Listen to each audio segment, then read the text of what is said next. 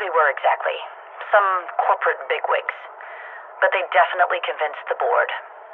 I can't say I'm surprised. They offered a lot of money for access to our labs, apparently. The board probably didn't even ask what they wanted them for. At least I got the bosses to promise the lab wouldn't be used to make biological weapons. This is a medical facility, after all. I will not be bullied into participating in this so called war just because some corporation gave us their money. It turns out they want us to make some kind of vaccine, an antidote for an unnamed biological weapon.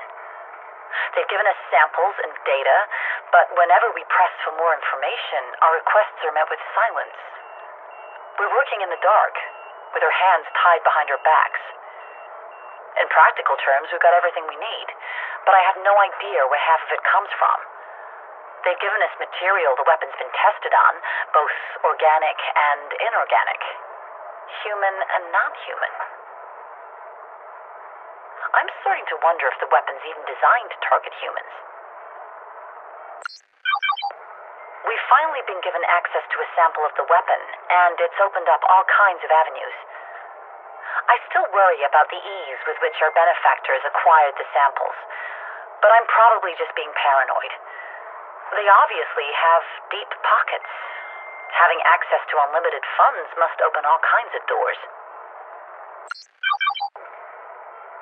After months of research, the solution ended up being pretty simple. Once you break it down, it's a fairly straightforward organic compound. Little more than a fungus, really. We tested the vaccine on some of the older samples, and while it doesn't undo any existing damage, it does prevent the weapon from doing any further harm. Our sponsors certainly seem happy.